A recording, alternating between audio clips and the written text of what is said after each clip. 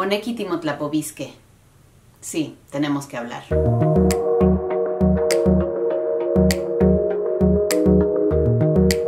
¿Por qué hay tantas personas que insisten en decir que el náhuatl es solo un dialecto?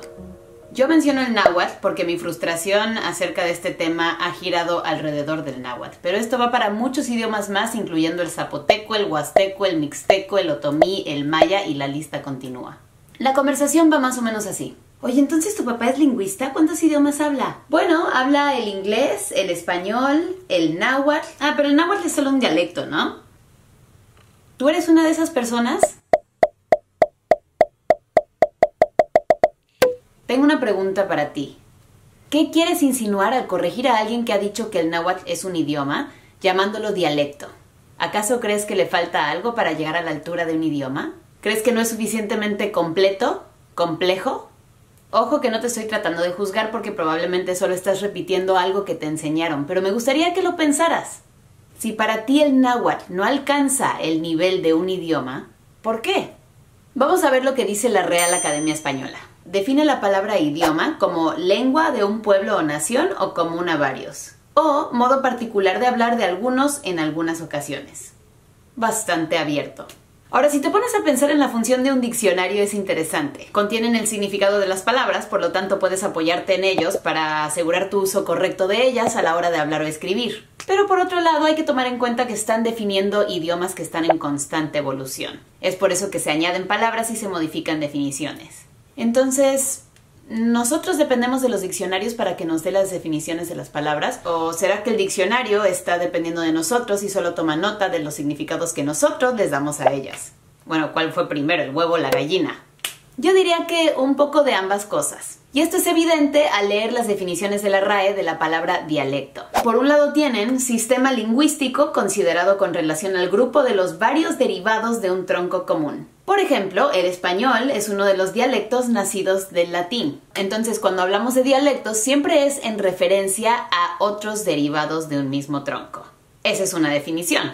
Por otro lado, tenemos variedad de un idioma que no alcanza la categoría social de lengua. ¿Qué detalle? Categoría social, ¿se fijaron? Aquí me parece que la RAE está definiendo ese uso que tantas personas le dan a la palabra dialecto al decir, ah, en náhuatl, es solo un dialecto.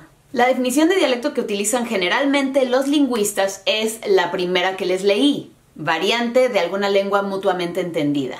Por ejemplo, se podría decir que hay muchos dialectos o variantes del náhuatl. Ahora, otra distinción que a la gente le encanta hacer es que el náhuatl no es un idioma, es una lengua. Vamos a ver qué dice la RAE acerca de esto. Una lengua es un sistema de comunicación verbal y casi siempre escrito propio de una comunidad humana. Sistema lingüístico cuyos hablantes reconocen modelos de buena expresión o sistema lingüístico considerado en su estructura. Ahora, si se fijan, la definición de lengua es muy semejante a la definición de idioma y por lo mismo lingüistas suelen intercambiar los términos sin ningún problema. Entonces afirmar que el náhuatl es una lengua no está mal, pero ¿por qué la insistencia de que no es un idioma?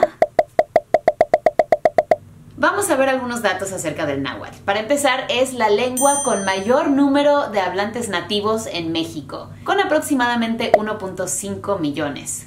Se habla principalmente en cinco estados. Guerrero, Puebla, Hidalgo, San Luis Potosí y Veracruz, con más de 100.000 hablantes en cada uno de esos estados mucho antes de que llegaran los españoles, los hablantes del náhuatl ya habían establecido un sistema de literatura que se transmitía más que nada por tradición oral. Hoy en día casi todo lo que tenemos por escrito proviene de las traducciones de los conquistadores. ¿Significa que ellos no tenían su propio sistema para conservar estas tradiciones? Claro que no. Además era algo súper bonito, la literatura náhuatl aspiraba a mantener en memoria todo el conocimiento de todos los antepasados. Sus ideas, sus mitos, sus rituales, sus adivinanzas, sus conocimientos en derecho, historia, medicina. Muchos eran oradores y poetas. Por cierto, me encanta la palabra en náhuatl para poesía, que es una combinación de xochitl, flor, y cuicatl, canto.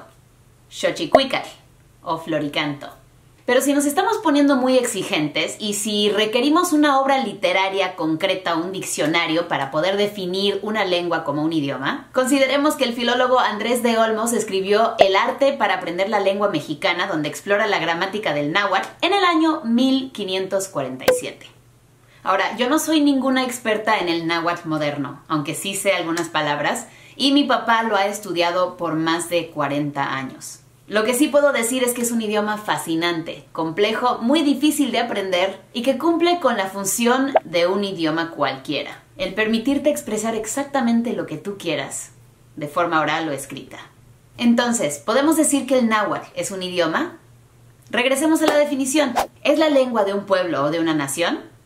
Sí. ¿Es común a varios? Sí. Si a 1.5 millones de personas se les puede llamar varios.